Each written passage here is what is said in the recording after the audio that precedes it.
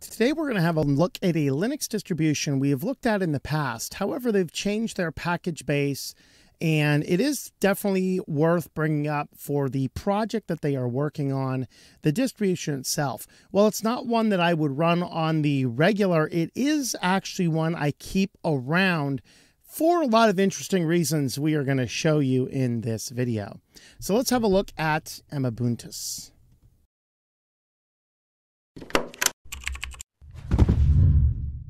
Thanks for checking out this video from Switched to Linux. If you like this type of content where we look at Linux, why you might want to switch to Linux, and some of the things that are going on in the world of technology, etc., subscribe to the channel. Leave us a like and a comment down below. And today we are going to have a look at the Linux distribution called uh, um, Emmabuntus. Uh, which used to be based on Ubuntu and it is now based on Debian. I'm assuming the name comes from its root uh, being based on Ubuntu, although I'm not 100% sure. It is not a US based distribution, and mostly it is a collective of people who want to help eliminate e waste and get computers into the hands of third world countries and places that otherwise cannot afford it. They do actually accept donations of used computers that still function so they can run uh, Emmabuntus on it. I'm not sure like the distribution itself doesn't. I don't don't know all of the ins and outs of that. But you can have a look at their website. You can see under the collective, you can see the team, what they're trying to do, uh, the interviews, the contact. They have a lot of information about the distribution itself. Now, one of the reasons I like this distribution is because it is lightweight and it comes pre-installed with probably more applications than the typical person wants. But it gives us a chance to play around with some applications and it does have extra built in tools like USB creators and even a Ventoy creator and updater. So, uh, this is one to keep around that you can throw into a virtual machine and you can use it to create Ventoy builds and things like that, test different software, stuff like that. So, this is actually one of the ones that I will keep a copy of it around for the variety of software it has available and what it is attempting to accomplish. Uh, they do have their reuse campaign, and you can download the distribution.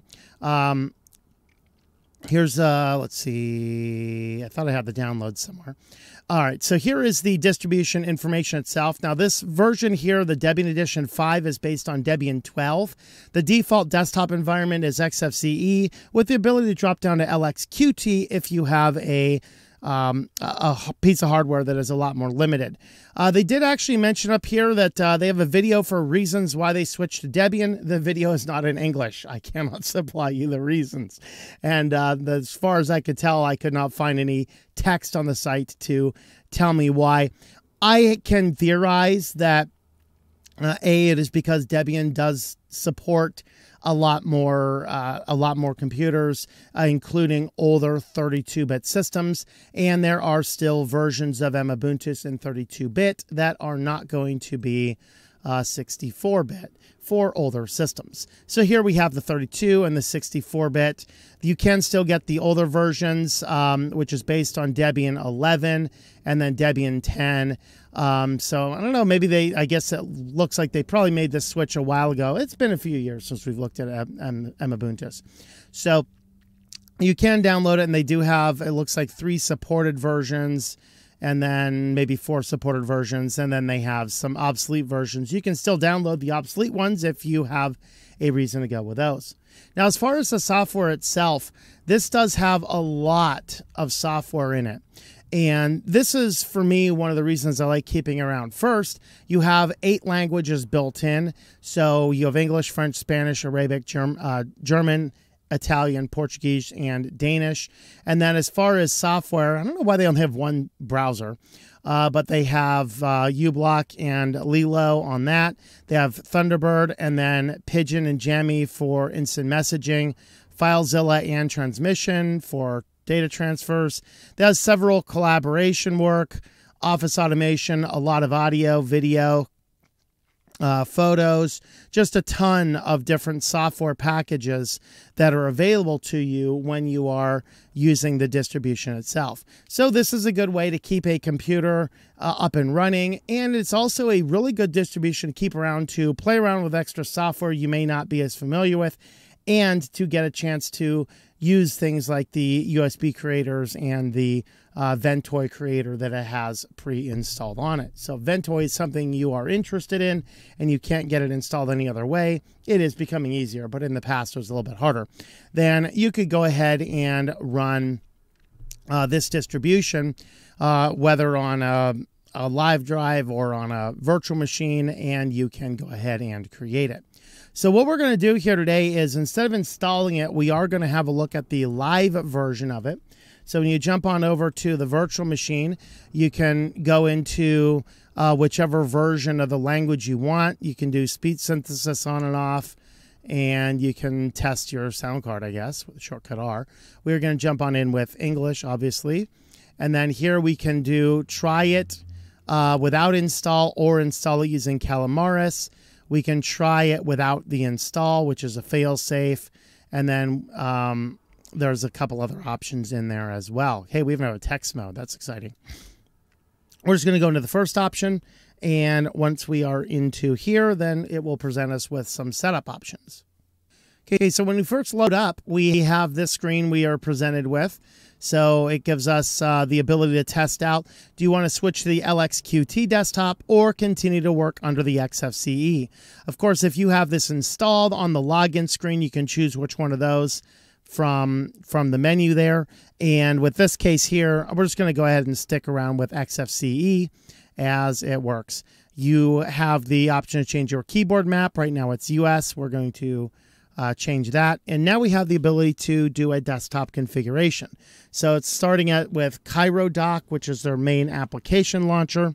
So you can activate the dock or not. You can lock uh, the default dock. You can activate the taskbar, activate workspace, activate Redshift, clipboard manager. Uh, you can activate the dark theme or the various sound events. And then you can change all of these settings later on going into the settings and Emmabuntus and desktop. We'll go ahead and activate the Cairo dock. And then which dock version you want. We have all for all applications. We have the simple for newbies and my dear old aunt, and we have the basic for children or beginners. We'll just go ahead and stick with the simple basic default. And now we have a beautiful Cairo dock down at the bottom which uh, gives us kind of memories of the old skeuomorphic Mac, which is just absolutely beautiful, in my opinion. I like this. Maybe I'm an old school boomer, but that's my my take. We have tutorials. We have a Debian handbook, Debian reference. We have a software center here. Uh, we have a settings manager. We have tools. And let's go ahead and click in on our tools as well. So here is the live Ventoy creator. So you can, uh, if you put a USB drive in here, you can select the drive and then you can look at which version of Ventoy and then uh, you can go ahead and install Ventoy onto that particular device. Uh, we also have under our tools a USB creator.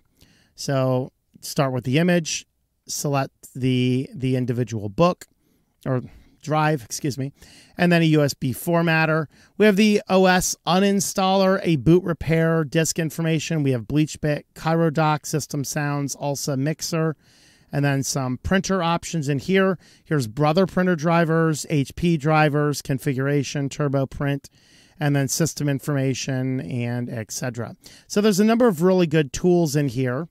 Uh, here is your settings manager. This is just your basic XFCE settings manager, but there are a few extra tools in here. So uh, here's the desktop, so you can activate the taskbar, activate the dark themes, etc. And then we have the Emmabuntus tools, which is the same tool menu we just saw. And I think there might be a couple other down here. Let's go ahead and have a look. That is all I see off the top of my head. Uh, let's see if I can get that software center to load. It was loading on my initial tests. Basically, a, a simple software center, kind of like what we saw in um, kind of like MX Linux. Looks like that may not want to be starting. I don't know. We'll, we'll give that a minute, see what happens. And I believe there's actually a button for it down here somewhere too. Here's our full applications menu. Of course, we can still right click it over here if you want to access it um, down here. But you can see that there is just a ton of software in here. This is why I probably wouldn't run it for my daily driver, but we do have uh, a lot of software in here if you need a, a quick piece of software for something or you want to test out some piece of software, this is a good one to keep around.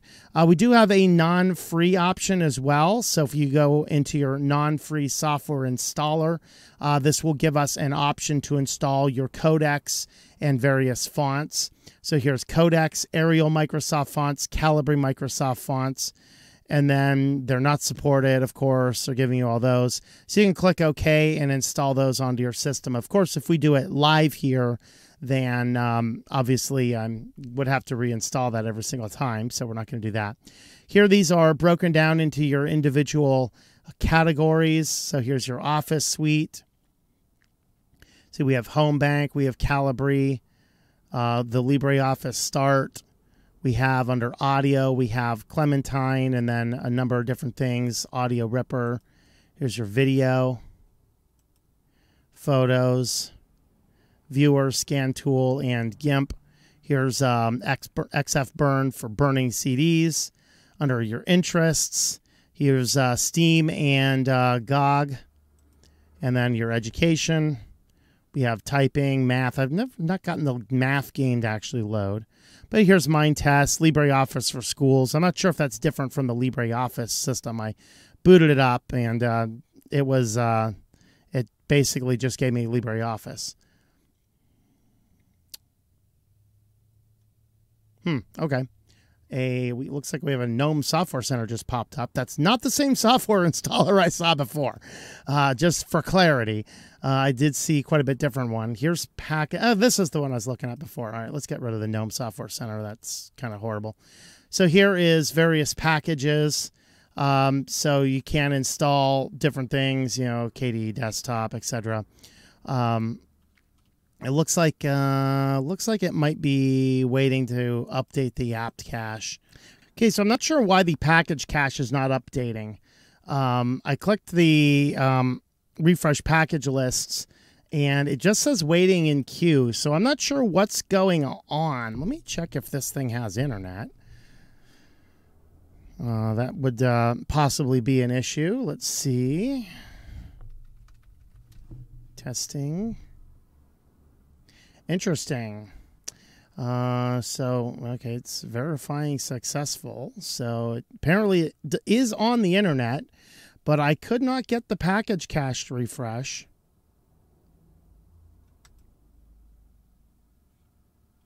Okay, well, internet seems to be working. Not sure why this is just waiting in queue. Um, I can't remember if it was like that when I was doing my first initial testing or not. It could be something related to we have not installed the system as well. There might be an issue with that. Let's have a brief look at the installer for anybody interested in that. Here we have an OEM install and a classic install. So here is your installer. So it's gonna it's waiting for a module to load up. Give it just a second. We can select our language here. Okay, so just a brief update. While I was waiting for the installer to go up, I went ahead and opened up the terminal and just did a sudo apt update. And that is actually apparently what I needed to do to fix all this kind of stuff. So now we can see our packages are up to date and our installer is ready to go as well. Like this was lagging around for quite a while. So I went ahead and uh, just did a sudo apt update, and that seemed to fix all of our major issues. So here you can just select everything. You can uh, replace, erase a disk, do manual partitioning. We'll do swap to a file. This might be okay. This so that worked. Uh, there are a few issues uh, with the Calamares installer in some versions that when you uh, went down to swap to something, it would cause some weirdness. We're not going to run through the full installation process here, but from here we just enter the name and the password and then hit the install, and then we are set to go.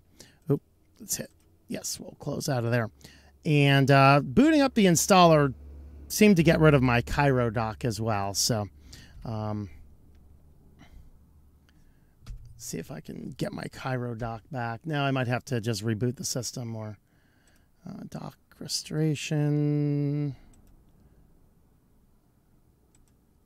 Okay, there it goes. So there's a there's an application for that. There's a script to uh, get your dock back. So that's what I need to do for there. So there is a, a nice little compelling distribution. This is one that you might download and you may not use it on a regular basis, but it certainly is a Uh, it certainly is a distribution you could download and keep around for references, for the tools, for some of the software it has. And this really is a nice project with a good and noble goal to keep e waste out of the landfills and to get computers in the hands of people who may not otherwise be able to afford them. So that's really why I like this uh, piece of software and want to do uh, more views on it, you know, more videos on it, exposure, more exposure to the organization as they're as they're working on this. So there is a brief look at Emmabuntus, uh, now based on Debian, I guess for the last few versions. It's been a while since I looked at this distro, so I uh, did want to get a refresher in there. Uh, so with that go, guys, uh, thank you for watching. Subscribe to the channel if you've not already done so. If you like this type of uh, review content, looking at Linux software and things like that. With that, thanks for watching, and I hope that you enjoy switching to Linux.